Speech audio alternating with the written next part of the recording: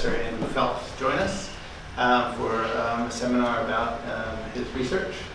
Um, he is a professor at the Rochester Institute of Technology in the great state of New York in the United States. And um, I've known Andy for several years from back when I was director of the games program at a competing school um, at Worcester Polytechnic. And we always had students come through looking at our program, and we said, well, where else are you looking? And they said, well, we're looking at RIT and RPI. Those were the two, the, the two other schools that students were always looking at. I'm sure you heard similar things when you had students coming through. Um, and um, uh, Andrew has a long list of things that, um, that he's done in the last, over the last decade, um, including starting up a games program from scratch, starting up a research, um, so an outward-facing research lab from scratch. Um, he's currently president of the Higher Education Video Game Alliance, which is an international organization that works to promote um, games, video games programs um, around the world um, in things like advocacy um, and um, I think it's. Ad advocacy um, and a better understanding of um, the um, strengths and weaknesses and the strengths of, of uh, teaching video games um, and uh, video games as a, a discipline in general. Um, so um, we look forward to this great talk. So let's welcome Andy. All right. Uh, thanks for having me. Uh, it's been a real thrill to be in New Zealand, see New Zealand, and all of that. So um, just want to say I'm very glad to have made the very long trip here uh, and enjoy all the all the wonderful things. Um, this is not a, like a typical like sort of one project research talk. I just tried to like cram everything in an overview so that folks could get a sense of who I am and what I do and how I think about things and all of that. So without further ado, uh, a little bit about me. Uh, I grew up a gamer. Uh, I'm in that little slice of people that the Atari came out right when they were first exploring game machines. And so I watched the industry sort of explode at the same time that I was getting into it, and that's me in my Pac-Man shirt when I knocked all my teeth out on my bike. um, that is also me. That's the first thing I ever learned to program. It's a Texas Instruments something or other, uh, and they had this little um, wire that you could plug in the back and get a text editor and start messing around with what was on the cartridge. So it was kind of fun. And I'm lucky to have made a bunch of stuff at RIT. Um, so I made the, the first graduate course in 2001 when I was doing that, and undergraduate degree, and then a graduate degree, and, and so on down the line. Um, Rob mentioned some of those uh, in there. Uh, and when you start to put years on it, it gets really depressing uh, because it's just sort of this litany timeline, right? Of every couple of years, the university wants to expand and do something more, and uh, that kind of thing. So what started as a course became a concentration, became a master's degree, became a bachelor's degree, became a department, became a school. We started offering a minor, we um, lost our minds and moved the entire university from quarters to semesters. So we remade everything that we had made at that point. That was fun. Uh, and then uh, five years ago, we created the, the um, RIT Center for Media, Arts, Games, Interaction, Creativity, or MAGIC. Um, and uh, that's been my life for the last five years is to build that center. Um, by the time I stepped away in July, that center had 34 affiliated faculty from four different colleges uh, across campus. Um, and we just built a $35 million facility with largely external funds um, to support that. So that's been, my, I've actually been wearing a hard hat for the last uh, couple of years uh, in my job, which is strange. Um, and what I would say about all of that is that the um, way that we think about games in higher education is very different from the way that, that I first thought about games in higher education. So uh, when I started, I was looking around for who else was doing this, and I found six people in all of North America that were had something in that course to do with games, right? There was like John Laird in Michigan, um, you guys were sort of like dabbling in it. and um, there was some um, stuff out in North Texas with Ian Parberry and a few other folks, but there was not like this sustained games programs uh, in all these degrees. And I've been thinking a lot about my institution. So when we started, I had this one course, and people would kind of go, "Oh, well, if you want to do games, talk to Andy." Like across the entire university of 20,000 students, like if you want to do games stuff, just go talk to Andy, because nobody else was really engaged and ingrained with what that looked like. And uh, I gave a presentation last year at GDC talking about games at RIT and what that looks like and what that means and where they sit curricularly. And I hadn't really done a lot of due diligence in terms of looking at what was happening with games outside of like my own stuff and my own research center and all that kind of stuff. So I sort of you know did this big call and said you know hey if you're doing stuff in this please let me know and what does this look like and talk to a bunch of students and look through our course catalogs again and all that kind of stuff and I tried to map it out and I mapped it out and what's going on at RIT relative to games from my one single course 15 years ago uh, looks like that. So that's a little different now, right? So there's folks in digital humanities that are doing stuff with games, and there's folks in science that are using, you know, games for science education and simulation and that stuff. And there's folks in uh, film and animation and new media and individualized studies folks are going crazy with games. And there's just all this activity around this new form of media that I think um, 15 years ago didn't really uh, have the cultural cachet uh, in the same way, right? We thought of it as entertainment. It was a place that it was a thing you did after you ate pizza and plugged some quarters into a machine, but it wasn't important. And now it's becoming important, um, and people are starting to see the connections and the ways and means that those things are interesting as cultural artifacts, as ways to engage people in, um, in knowledge acquisition, uh, and so forth. And so along the way, uh, I've built uh, a few games. Um, We'll talk about why we build things in a minute. Um, the first game that I that I did sort of really at scale when when Magic was starting up, I wanted to sort of prove the fact that we could make uh, very polished, very pretty things, uh, so that folks would know and understand the capabilities of the new center. And so one of the first things I did was I made this game. Uh, this game is called Splattershmup. Uh, splatter being the thing that happens to paint when you drop it, and shmup being a contractualized form of shoot 'em up, which was slang in the 1980s arcade games for uh, anything that you sort of ran around with a joystick and shot bullets in any direction. And it's a particular canonical form, um, mostly out of Japan, although there was a big sort of uh, thing with it in the early 80s in the arcades. Uh, if you remember games like Raiden and stuff like that, that was kind of that thing. Um, so it's a really strange game. I made a game about painting. Uh, it is a game designed to teach people around, about gestualized abstraction, which is an uh, art technique. It's uh, most popularly known by the artist Jackson Pollock, uh, as well as a few others. Um, and so it was really weird because I made a game. Um, my students couldn't figure it out because we made it as a web page. So from a tech perspective, they were like, "But that that's not how you make a game." So that was I was challenging their notions of what a game was. Uh, the campus couldn't figure it out because it was a game about art and art education, uh, and that wasn't what games were for. Uh, and it was a, a really interesting uh, piece of work because it sort of took everybody's understanding about what a game was and twisted it a little bit. Uh, and then we, we launched it, we released it, um, we put it all over the news, we advertised it uh, as best we can because we're a university, we don't really do marketing aside from looking for students, but we tried. Um, and I submitted it to a bunch of stuff and it got accepted in a bunch of places and we showed it at GLS, uh, where it was a finalist, we showed it at DIGRA, uh, and its claim to fame is that I, I showed it at the Smithsonian. Um, so I got to stand in the Smithsonian American Museum of Art next to the real thing and call my mom and say, Mom, my game about painting is in the place where they show the paintings, right? I win. So that was, uh, that was very nice. Um, and these are some of the paintings that people have made with by playing the game. So you play the game and it makes this piece of art generatively as you play it, and then you get to keep the piece of art when you're done, and you can post it to Facebook or save it to your hard drive or whatever.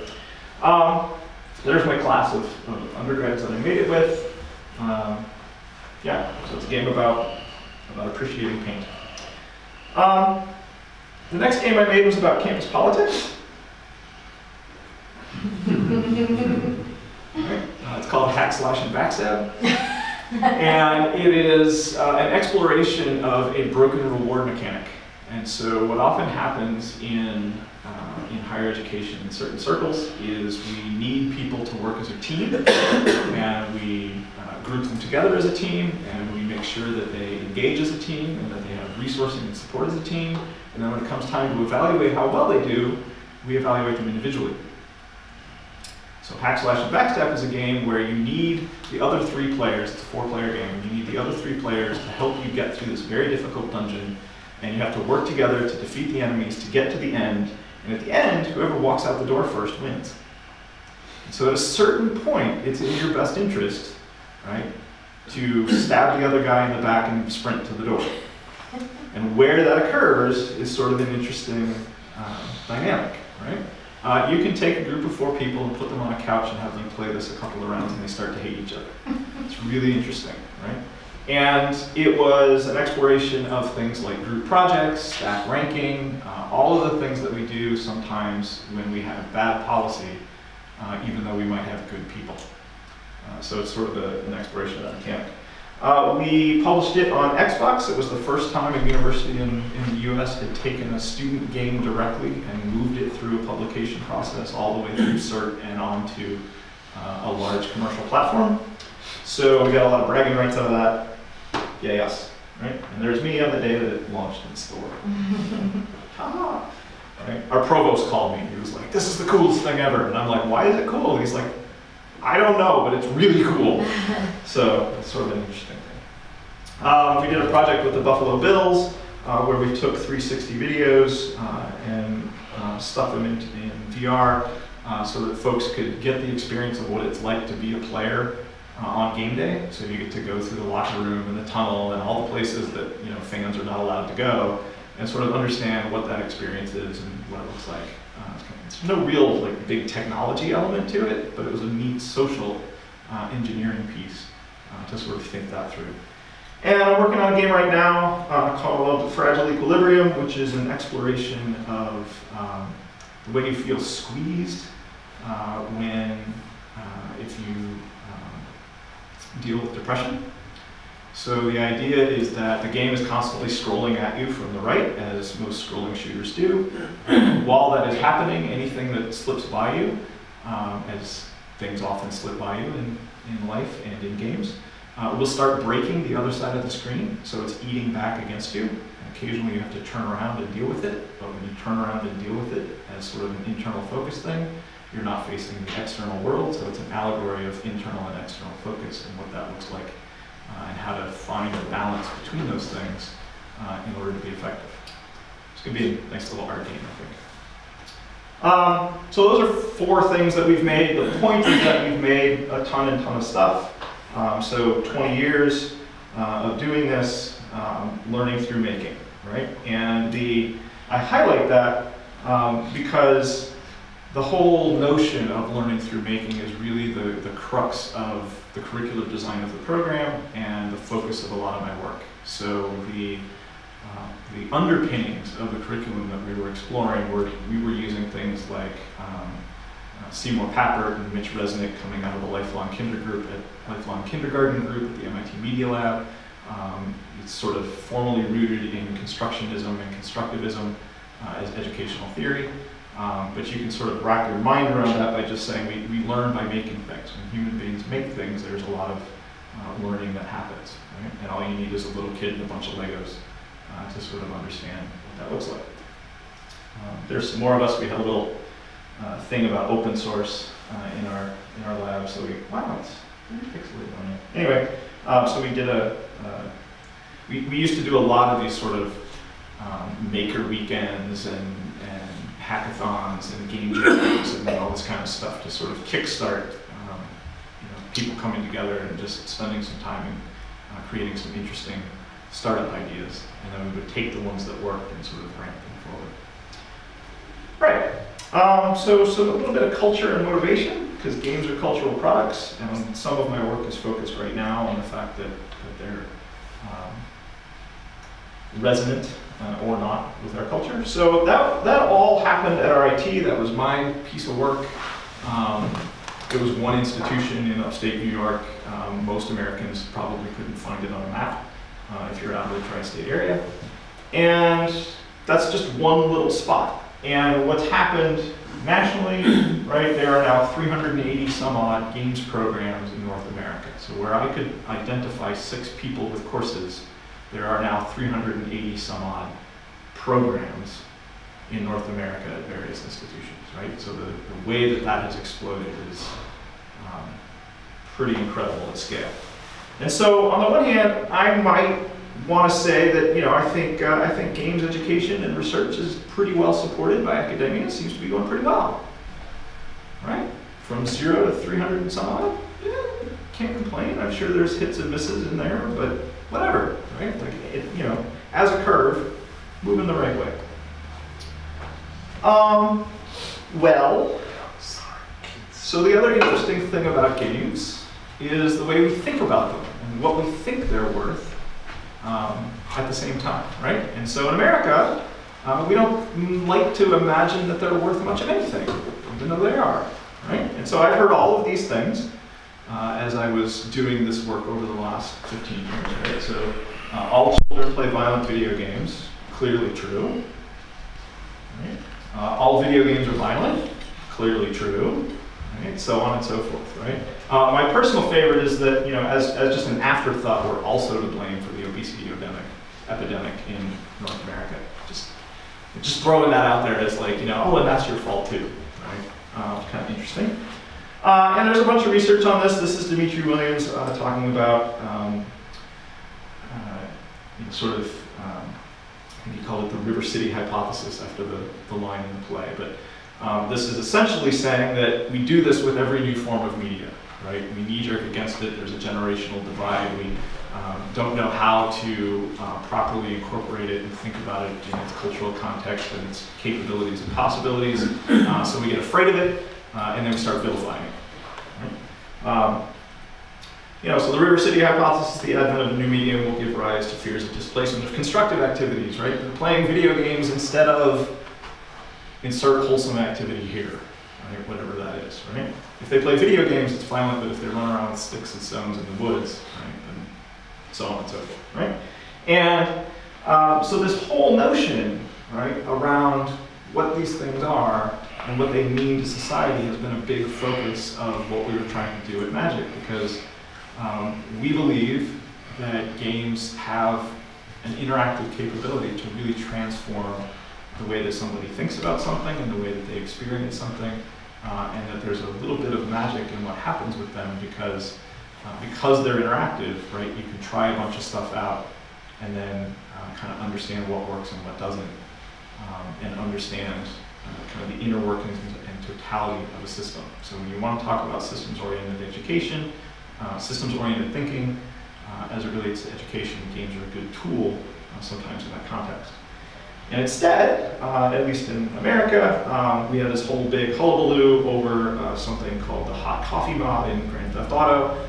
Um, and that was a, a, really interesting, it made all the headlines, it was on CNN, it was, you know, all over the place, right? And it was people arguing about, you know, this video game and how um, the content was inappropriate for children and all this kind of stuff. And when it came out, the game uh, was rated um, M. And uh, when they finished with that controversy, it was rated uh, NC-17, or A, adults only. And the difference between those is one year. The whole thing was about whether or not a 17-year-old versus an 18-year-old should have access to this game. And I know a bunch of 17 and 18 year olds, and they thought the whole thing was pretty ridiculous. Um, so it's just sort of an interesting uh, from a policy perspective. And then I uh, had been working with the Higher Education Video Game Alliance. We, we founded it for a couple of years. Constance Steinkuehler, my colleague, was president for uh, the first three years. And uh, she wanted to step away because she was moving from Wisconsin to Irvine, uh, wanted to focus on that. And asked me to, to step in as president, and I said, sure, you know, things seem to be going pretty smooth, it's not that bad a thing, and that was in November of uh, uh, two years ago? November a year, November a year ago. And um, I had been president from, from basically Thanksgiving, uh, American Thanksgiving, and then it was the holidays and everything was fine. And I thought, this can't be that bad.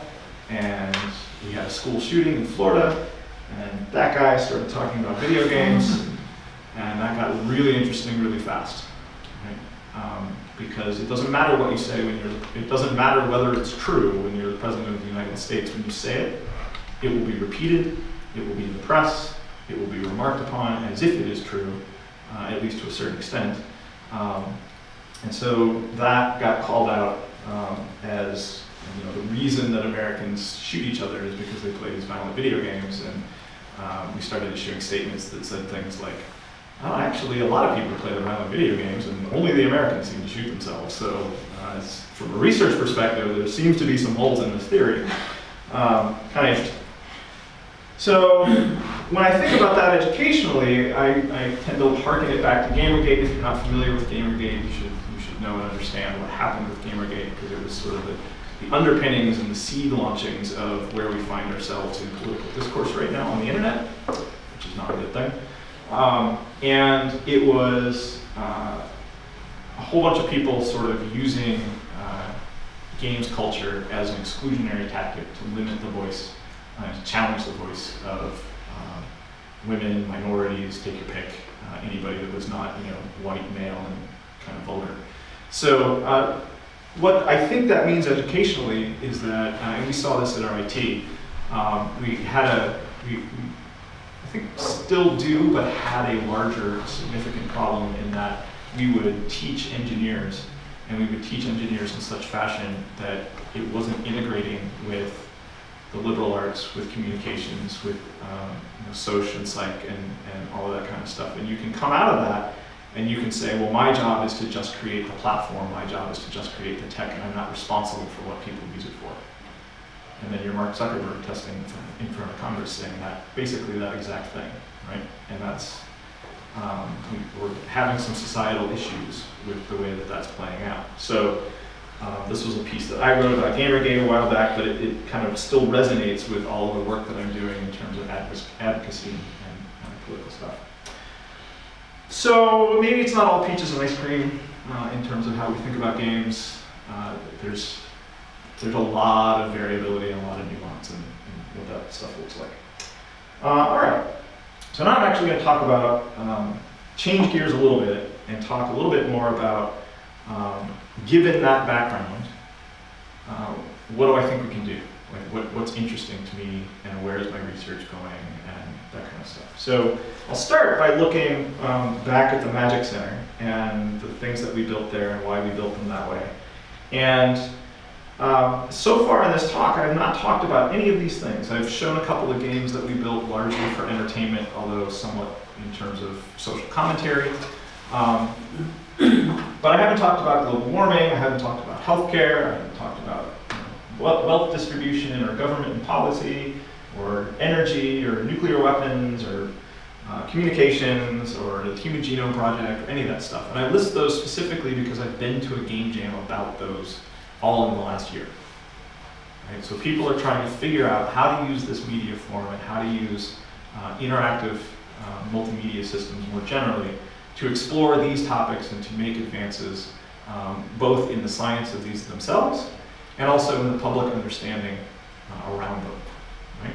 And so um, I think that that is really the kind of the crux of um, what the university can do when it has a deep and dividing interest in games. Um, because I think, again, this is a, a, phrase that I stole from Ian Horswill at Northwestern, and I said it really well. I'm, I'm sorry. There's nowhere to like stand touch. Um, which is protecting making as a form of inquiry. So a lot of times in formal research, we forget that the actual act of making the thing, right, is a lot of times where the learning happens. Right? And um, we kind of shifted that around and just said we learn by making things when we moved it into the Magic Center. And uh, we actually stuck it on the wall. That's a that's an architectural rendering of what the, the grand uh, thing looks like now when you walk in. The reason we made that center is that we looked around and we said, well, the platforms for a bunch of this stuff are converging. This was the president's, um, president of RIT's uh, rationale for why he wanted a, a, big research center in the space and why he wanted it outside of any of the individual programs or colleges. He wanted it at the university level. Um, because he looked around and he said, well, the, the stuff around tech and the technology around games and film and animation and interaction and VR and all this stuff, they're, they're kind of all slamming up against one another. They're becoming a kind of interchangeable soup, right? People are using, you know, game engines to make movies, and they're making taking what they know about, you know, uh, movie cinema- cinematography and trying to move it into 3D worlds, and this and that and the other, right? So um, there's this convergence, and so we wanted kind of a centralized clearinghouse and a way to, to interact across those disciplines. I looked at it, and there was kind of convergence of another sort, right? So we used to think of academics as being really over here, right? We had a whole bunch of undergrads earning undergrad degrees and doing their thing. We had some grad students doing their things, and that was kind of research focused, right? And then we had like a startup and entrepreneurship center, like down the road. At RIT, literally down the road. Like you had to get in your car and go over to the, to the startup place, right? And we looked at that and we went, well, that doesn't really make a lot of sense, right? What can we do that, that actually starts to integrate across those things, right? And then how do we, um, how do we combine that with R&D and how do we, how do we tell the world what we're doing, right? It's the last thing that a lot of people leave off when they make a research center, right? They're like, oh, we do great things in the research center. You should just show up and we'll show you, right? But there's never that outward facing push, right? And so what we did is, um, when I made Magic, I made it, I made the research center, and right away we created Spell Studios, which was a little spin-off LLC, and its only job was to take the things that we thought were interesting, right? Polish them up enough that they were like a really credible prototype that you could put in front of the public, right? And push them out the door and advertise them, market them, right? Make sure that people knew what was happening and what we were doing. Uh, it was, we ran a whole bunch of stuff simultaneously. Um, we did a, a co-op program, which was basically getting students funding for early stage ideas and prototype work. And the bulk of that came from the National Science Foundation through a program called I-Corps, um, which is a, a sort of uh, tech innovation development fund uh, within the states. Um, we got some from the Board of Trustees, we got some from the Business Center. Uh, we obviously did a bunch of grants with 34 faculty. You're going to have you know a bunch of grants kind of ebbing and flowing throughout that thing. Um, we did a bunch of academic projects. We did a bunch of not academic projects in terms of more commercially sorts of things. And I would classify uh, like the thing that we did with the Buffalo Bills wasn't really academic, right? We didn't learn any big new finding about 360 video, um, but we got to play with an audience and, look at you know how things got disseminated at, at scale a little bit. Um, we had several different initiatives within that, so we sort of chopped up, like, these were sort of people's individual labs within the center, more or less, so each one had a faculty member that was sort of their champion and, and that stuff. Uh, we had something around free and open source software, around uh, religion, communication, and policy. We had one around frameless labs, which is our, which is our VR thing, um, a few others. Uh, and then we got some really big grants to sort of help float the infrastructure of the thing, right? So we went to New York State, identified as a um, games hub for New York State, one of three. Uh, so that was a couple million um, over three years, and then it would renew and renew and renew.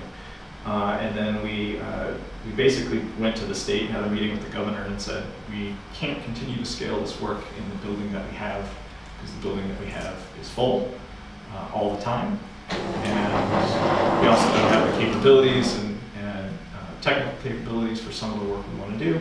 Um, so he gave us a bunch of money, and then we had to go out and do corporate matching. Because in New York, you can't take a dollar from the government if there's not a match fund from, um, from private industry. So we did that, and we raised 35 million, and we made Thing. Uh, all of which I would say is that the M is for messy. Right? It's just you know, we just got in the mode of not saying no to things, and we were just gonna like, you know, get on the ground and make it go for a little while, and then the things that stuck were the things that people really cared about and were passionate about, and the things that didn't uh, sort of floated off. Um, so this was kind of our poster of uh, come get involved, and there's a lot of things in there that are sort of traditional researchy center sorts of things, um, like faculty research and scholarship and um, you know, infrastructure and, speaker series and stuff like that. And then there's a lot of things that aren't, right? So we were providing front-end support for things like uh, IP policy and legal. And we would you know, meet with students, figure out where they were, and then drag them to the, um, you know, to, to either general counsel uh, or to um, where else on campus would be useful. Right? So we were sort of interjecting ourselves to make it really simple uh, for folks to sort of figure out what they wanted to do, figure out what that looked like, and then how to scale that up. All right. So with all of that as a background, now you sort of hopefully have gotten the point that I'm rather passionate about making things and about having other people make things. Um, and I think that that's kind of the, the future of how we think about, um, about higher education. Got there. Okay, everyone's nodding, so all right. I've beaten you over the head with it enough. Um, so now I'm starting to look really carefully at the way that people make. And I tend to be a big process guy, and uh, I'm doing a lot of work right now specifically around um, what I would term development streaming. So if you don't know what development streaming is, development streaming is the act of streaming live um, the making of a thing, a game, a model, a painting, whatever. Um, but in my specific case, I'm looking at people doing game development streaming. And I think it's interesting for a number of reasons. So the first uh, slide that I'll show you is, is I stole from uh, my, my colleague, uh, Mia Consalvo. Um, so in, in 2006 and 2007, there was this thing called Justin TV. Uh, you probably have never heard of it because nobody really paid attention to it, uh, except for the folks that got really into streaming really early. And that was uh, rebranded as Twitch TV. They took their gaming section out of Justin TV and called it Twitch uh, in 2011. And a whole lot more people started paying attention to it because what was happening then was sort of the precursor to what we now know as esports. And people were starting to watch other people play games uh, as a form of entertainment. And Justin TV kind of shut down as Justin TV, it just stayed as Twitch. Uh, and then that sold to Amazon for $970 million. And Amazon scaled it through the roof. And it is now the third slide old. Oh, it is now the third largest driver of internet traffic in North America. So that's kind of a big thing. Right? And it's all people watching other people do stuff, whatever it is. It's a very strange phenomenon.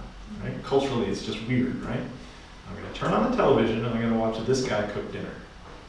It's kind of strange thing. Why would you ever want to do that? What's going on there? Right? And I started to think about that, and I started to think about, in particular, development streaming for game developers and development streaming for artists. And artists are particularly unique in the way that they tend to make stuff. So back when I was making that Splattershmup game that I showed you before, uh, I got to take it um, out to, it was still in development, and I took it out to a conference and um, showed it off, and I showed it off to these two guys in the bar after the conference, which was way more meaningful than showing it off at the conference. And those two guys, uh, so this guy in the gray is Michael Goh, and at the time Michael Goh was the Senior Vice President for Experience Design and Creativity at Adobe. So he kind of knows a thing or two about artists and the way they work and digital tools to help promote the creative process and so on. Guy next to him is Jeff Dowd. Jeff Dowd was the uh, principal designer in residence at Adobe. And we had this big, long discussion about what it means to learn to draw, why you want to learn to draw, and how you go about it, what are the stages, what are the, what are the sort of cognitive touch points, and all that kind of stuff. And Michael was doing a um, series of pieces around this, uh, and it was really pretty interesting. And if you've ever, uh, so drawing is kind of an interesting thing. Uh, so first off, um, you've all known little kids, right? All little kids draw, almost universally. Right? There are some cultural aberrations in particular, in, in particular areas, but um, by and large, at least in Western countries, all little kids draw. And just as interestingly, they all think they're good at it. You ask a three-year-old if they're good at drawing. Yeah. Right? This is good. Put it on the fridge. Right? And we all do it. And what's interesting about that is over time, weird things start to happen. So when you first start to learn to draw, it's all about the kinematic movement. Right? It's all about this. Right? I'm learning to control my hand is what this is really about, but I'm going to, you know, scribble and so on and so forth, right? And then you move through a process where you start to say, well, I'm going to draw a particular thing, right? I'm going to draw Santa Claus, or I'm going to draw, you know, whatever, right? And then you start to uh, you start to refine that thing. You start to add color. You start to think about you, differentiating color. You start to um, more accurately depict individual objects. You start to fixate on particular features. Uh, long about somewhere between 10 and 13, you start to really get a hankering for perspective and so on and so forth, right? So like there's this whole body of literature around what this stuff looks like, right? And the way that somebody sort of moves through the process and learns to draw. Just as interestingly, right, things start to go a little south. Right? So there's this wonderful story that Michael told uh, around nice sheep. So imagine you're a little kid and you're drawing this drawing and you're working on this big puffy cloud, and it's this big cloud and kind of a blue-green sky, and you're excited about this, and this is great and whatever. And the adult in your life, you know, maybe your mom or your teacher, somebody comes along and goes, nice sheep. Right? So there's this role that happens when somebody else comments on work and what that means and whether or not that resonates with your creative vision for it, right? Right if you watch. Leave, it, leave, leave the windows the way they are. I just opened them. Sorry, we're fighting. Nice window. You know. um, so what I think is interesting about that, right, is that when you watch most teenagers draw, they will almost universally cover their paper. One of these. Right? And so we get into this culture of saying, well, I'm going to do my work and I'm going to create my thing privately, and then show my thing and get feedback on my thing publicly, right?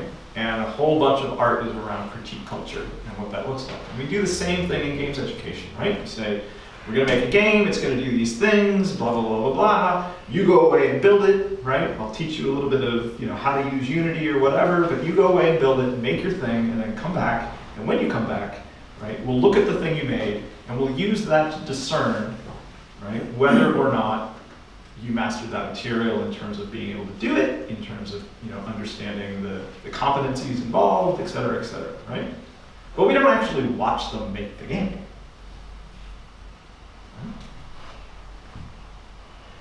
And what I think is kind of interesting about that is why not? Right? If people are streaming the act of doing development, why aren't we watching them make the game? Right? What would that look like as an educational process? How would that change the way we think about teaching? How would that change the way we think about engineering education in general, right? Or art education, or some amalgamation of the two, right? And it's different in different contexts, right? If I'm going to teach you to throw clay, I'm going to stand there while you do it. I'm going to watch you do it, and I'm going to look at where your fingers are and where they mess up in this stuff, and then we're going to have a whole discussion about you know this and all that kind of stuff, right? But we don't do that when we teach technology. At best, we sort of get in front of somebody and say, well, it works like this, watch me do it, blah, blah, blah, here's the thing, now you try it. Right? And then we're on to the next person because you know we have a whole bunch of people in the classroom and so on. So I'm kind of particularly interested first in terms of this, this cultural identity of saying, why are these people streaming this in the first place? Right? What about it? And when you explore that and unpack that a little bit, one of the things that you hear a lot is you hear people saying, I need a way to commit myself to this process. I need a way to make sure that I'm going to do this every day. I'm going to get up, I'm going to stream it, and even if nobody watches it, I don't care who watches it, right? I just want kind of a touchstone of forcing myself as a practice, right? What you don't hear, what I'm starting to think about, right, is being able to say, all right, did this development stream, right, and I'm doing this thing every day, and now I can use it as a reflective way to go back and explore what I'm doing. Right? So, to what extent is it useful in your own work to be able to say, oh, you know what, when I sit down and work, I actually spend one third of my time right, struggling with this one thing or what have you. Right? So to what extent does that work, right? So the commitment to process, the cultural identity. The next is a community of peers. Right? So most of the folks that are streaming game development are also watching other people that are streaming game development. And they're starting to talk to one another, where are you stuck and what does this look like and all this kind of stuff. And I'm pretty sure my students at RIT, when I say, read this chapter and do this thing so that you understand how the game engine works, um, some of them walk out of that lab and go, I want to know how to do, and then copy them doing it, and then that's how I'm going to learn. So kind of understanding that. Um, the big one, I think, that's here is the reason I had all of that stuff in there about you know Donald Trump and all of that crazy stuff around games is that the public understanding of games is still very divided, is still very mythological, is still very based on narratives, not fact. Right? We still think of you know, lonely guys that sit in the basement and eat pizza and Mountain Dew, and that's who plays games. Right? Demographics of that are not correct. Right? If we actually look at who plays games and when and where and all that kind of stuff, and we can because they're tech systems. Uh, it's way more diverse than that, and there's lots of different kinds of games, and so on and so forth. Right? But part of that comes from the fact that I think um, people don't know how games are made. They don't know what they are. Right? So in the States, uh, in, in the tri-state region in the north, um, a few years ago there was a, a one of those surveys where they just ask a bunch of kids, you know, like, what do you want to be when you grow up, right? And uh, right behind professional sports, game designer was number two. Number two. Let me put that in context. We beat astronaut, right? Like, think about when you're, you know, fifth grade, right? What do you want to be when you grow up, right? Like, you know, fireman, astronaut, you know, play for the Yankees, you know, whatever, right? Like, there's no rule set around that, and yet game designer is number two. Next question is, what does that person do? Nobody has any idea. Because where we have a cultural understanding of what a movie is, right? Oh, there's some actors, and there's a script, and somebody films it with a camera, and then you see it in the theater. That's grossly oversimplified, and anyone that works in film is like, you know, rolling their eyes so hard that they're going to injure themselves.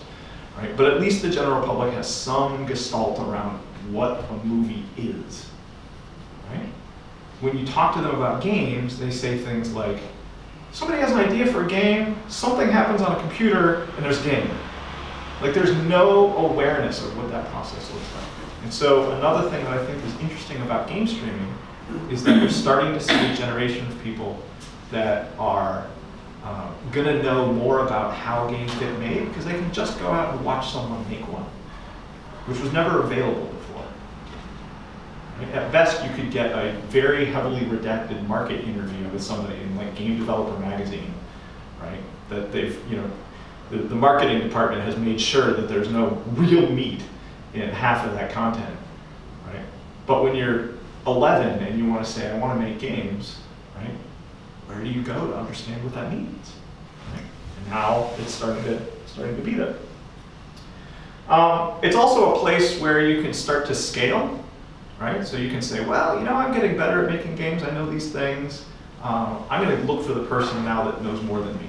And on the internet, there's always the person who knows more than you, right? So how do you cascade forward, right, and continue to engage yourself in that? Um, I think this idea around a support network for people that are struggling to make their first thing is really important.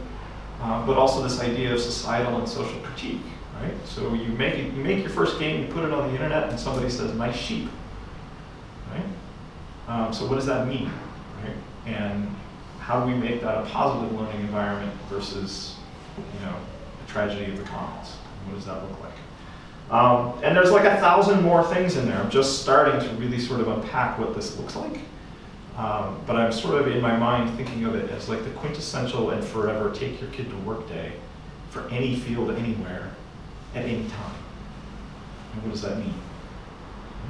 Um, I also think it's going to be like not very long before people start streaming this. You know, like right now, it's like you get a little tripod and you put it next to your computer, and you you know, people can see either you or your screen, or you in your screen, or you in your screen, and you have a little chat window where you can talk to people. And some people have, um, you know, they've used like, you know, voice assist so that, so that the chat will talk to them and they can talk back to it, so to, whatever, and all this kind of stuff, right? But like the technological mediation of what this is just gonna ramp through the roof, right? Like somebody's gonna start streaming in VR, somebody's gonna start streaming in 360, if they haven't already. Um, somebody's gonna start streaming, you know, off of their AR glasses, right? You know, watch me grocery shop or whatever crazy thing, right? Um, I was telling some folks the other day that I um, just read a thing about this uh, kid that was uh, watching people stream farming because he lived in Brooklyn. He will probably never see a farm. And what's interesting about all of those things is that there is right now this cultural thing that's happening where there is this quest for authenticity. Right? You could watch a documentary about farming. Right? There's lots of them. Right? But that's not the same thing as watching a normal, non-actor person just farm. So people want this realism for some reason. Right? There's distrust of the packaged, uh, mediated form. Right?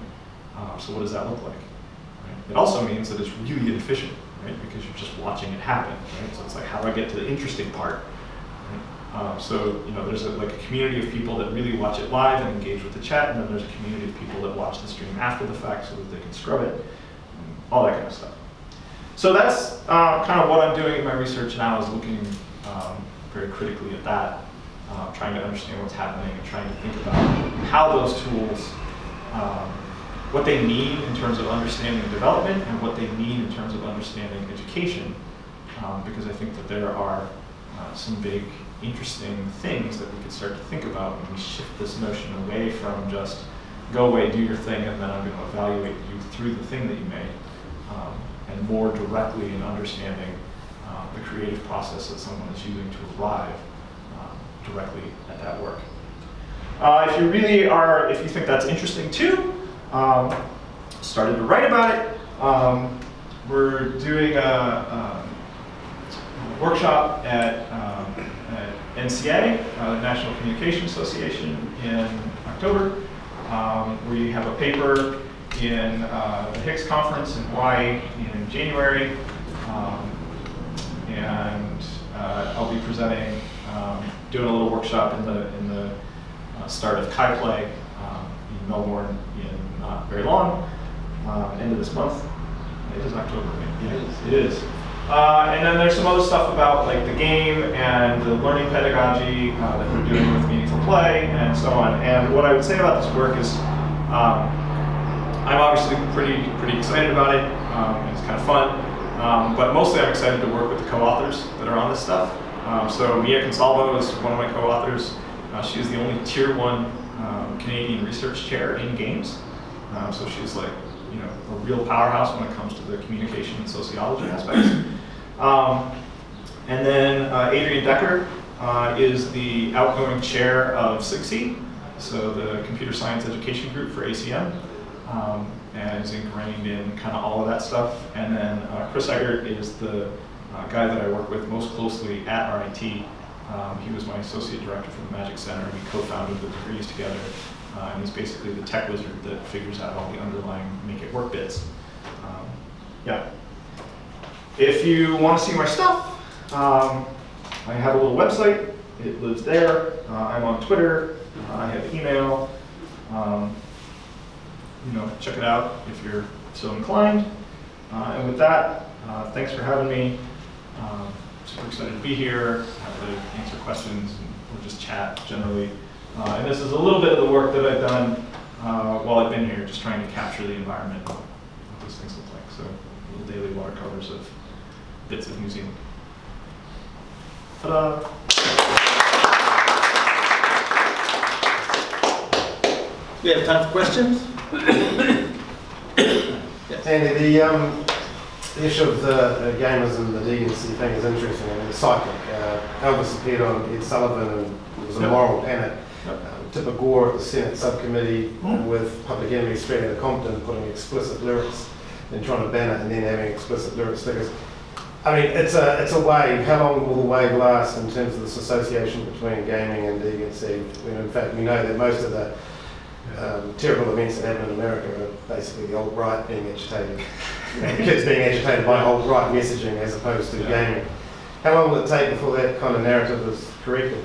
Yeah, I mean, to a certain extent, right, um, it's generational, right? So it'll phase out because, you know, when, when my generation is now the, you know, probably the, you know, the predominant, you know, um, retiree generation, that, to some extent, that'll be problem solved, right? Because if you grew up on that media and you know and understand it. Although there is kind of this weird outtake where, um, folks become more conservative as they age, right? And so sometimes new content can challenge can challenge that. Um, it will kind of always rise and fall, right? I mean, we still see it in rock music occasionally, even though rock music is, you know, by and large been here long enough that folks are like, you know, no, Sun Screaming Records is not really the answer, um, you know, sort of thing. Um, you know, so I would hesitate to say, you know, in exactly, you know, 12 years, right, like it's done. Um, I think there are things that are starting to break down, right? And so in this latest thing uh, with with Trump and the the school shooting and all of that, right?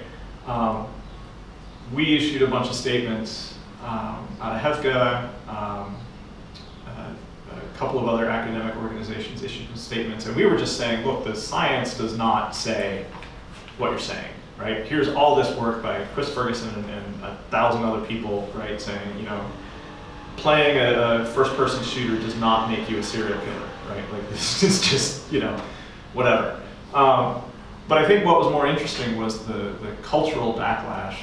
Um, the popular press really got on it, and mostly got on it in a good way. I mean, Fox News is always going to do what they what they tell them to do, right? I mean, it's a propaganda channel at this point. But uh, all the other major news outlets ran a story that, that basically said, this is not a thing. This is an NRA strategy. This is a talking point. It's an engineered talking point. Um, and that culturally within the United States, that was one of the first times that that really happened, right? Because I remember like when it came up with Nancy Reagan, when it came up with Hillary Clinton, when it came up with, um, forget the one before Nancy Reagan, right? Like then the press was sort of willing to just go along with, you know, oh, games are bad, like, you know, da da da da, da right? And, and this was the first time it was really sort of a, oh, wait a minute, like you're, you know, you're just saying this because it's politically expedient to you, right? Um, so that gives me some hope that it is starting to to wane. Um, you know, that said, somebody's going to make, you know, somebody's going to make some piece of interactive content that's, you know, off the scales in terms of, you know, ridiculous violence because they will. I mean, human beings are going to make a range of things, um, and that will reignite it to some extent and, and so forth. But I think generation, generationally, right? I mean, we don't argue about ragtime music anymore, right? So it's just going to continue to evolve.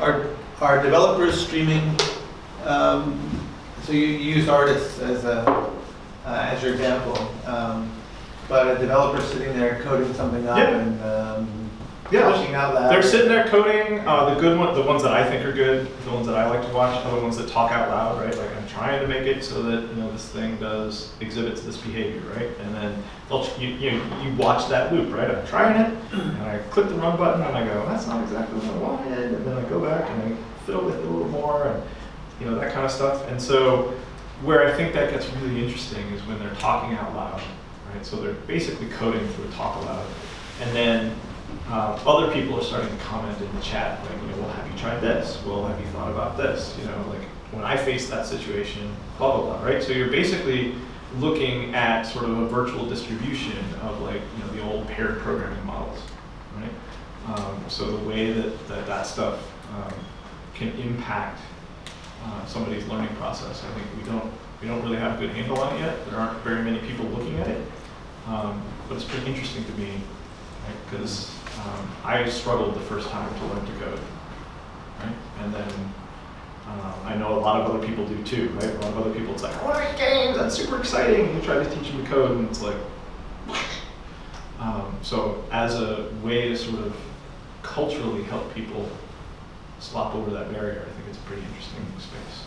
But does the, um, does the coding community care about intellectual property as such? I mean, if somebody's creating a game where you think there could be some you know, commercial value in it, sharing it in open media is somewhat fraught, I would have thought, but does that, does that have much of a kind of interest?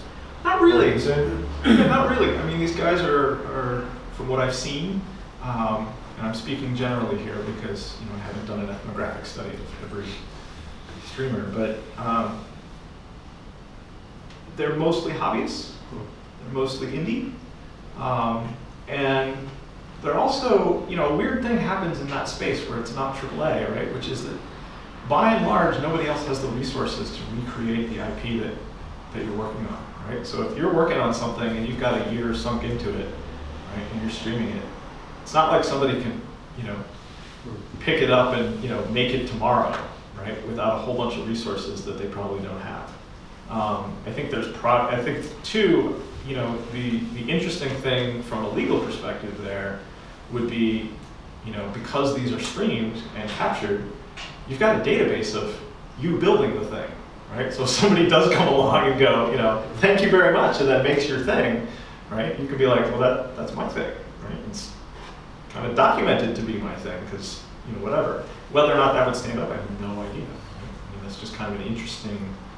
Um, hasn't hasn't happened yet. It hasn't gone there yet, right? Probably will.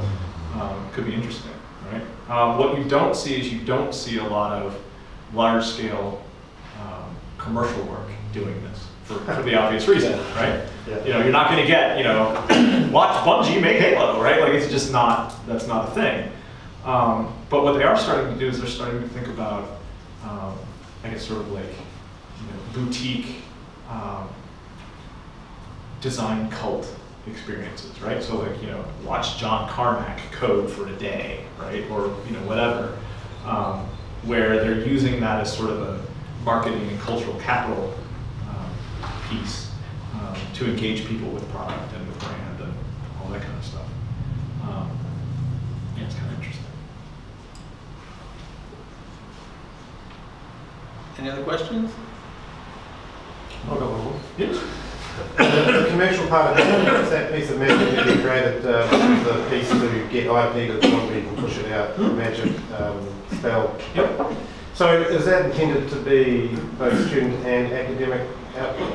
Yeah. Doesn't care? It- Doesn't care. Um, sometimes it was, you know, students made a thing and they want to put it on the storefront and, you know, see what happens to it and that stuff, but they don't want to take the risk of making their own LLC and, you know, being responsible for it and that kind of thing. So we would, And then you would do that as a brokerage service, so you would? Yeah. Yeah, but there's, there's fees attracted to, it, associated with it, but, you know, there's a share of benefit kind of arrangement. yeah, I think, I think we said um, we would take 10 cents on the dollar Yeah. to cover costs. Um, You know, we weren't looking, and, and we made it really clear, like, we are just barely covering costs here. Like, we're not, we're not in it to make money off student projects, right? Um, It was mostly to cover the, the transaction fee of them actually sending us a check, that sort of thing. Um, The, we also did it for faculty um, in a couple of instances, and that was, that was way more fun uh, for me, because that really challenged the sort of colloquial thinking around um, inventor clauses and, and intellectual property within the institution, right? And it, it basically it was a pretty interesting sell because we had a group of faculty that really wanted to make stuff, wanted to make stuff and get it out to the public, wanted to make stuff and even sell it, right? But they just had no interest in being personally entrepreneurial, right? They're just like, I don't want to run a company, I don't want to deal with it, I don't want to file my taxes four times a year. I just like I want I want none of it, right? I want to sit in my studio and make my thing, or I want to you know work with my team and create my my game. Um, and so you know for them it was really kind of a an interesting um, thing because they're kind of you know they're losing a little bit of autonomy, um, but they're gaining a service right embedded in the place that they already are um, that they can use to help reach an audience that otherwise they would probably never reach. It's kind of an interesting thing. Okay. All right, let's thank Andy.